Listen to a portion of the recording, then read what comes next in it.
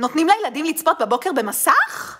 בסדר, תעשו מה שבא לכם בבית שלכם, וברור שזה גם נוח, והרבה פעמים זה מציל חיים. אבל הנה עובדה שממש חשוב שתכירו. כשהילדים שלכם צופים במסכים, מופרש הורמון שנקרא קורטיזול. ההורמון הזה ברמת העיקרון אחראי על המערכת חיסון ורמת הדחק בחיינו.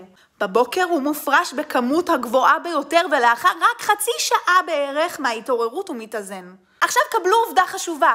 יצא מחקר בשנת 1997 שהוכיח שחשיפה גבוהה יותר להורמון הזה גורמת לפגיעות רבה יותר ולהפרעות חרדה ודיכאון. ובעוד מחקר שהיה בשנת 1994, אי שם, ילדים שחשופים בצעירותם לרמת קורטיזול גבוהה הציגו התנהגות יותר חרדה ורגישות גבוהה יותר ללחצים, ואפילו ירידה במערכת החיסונית שלהם. ובעקבות זאת הם כמובן יותר חשופים למחלות. אז בפעם הבאה שאתם נותנים לילד שלכם לצפות בחצי שעה הראשונה לערות שלהם במסך, תזכרו את המחקרים האלה. אתם, מה אתם? אתם נותנים לילדים שלכם לצפות במסך בבוקר? שתפו אותי בתגובות. ואם אהבתם את הסרטון, מהמם! בואו לאינסטגרם שלי. אבל הכי חשוב, תזכרו, סרטונים זו לא הדרכת הורים.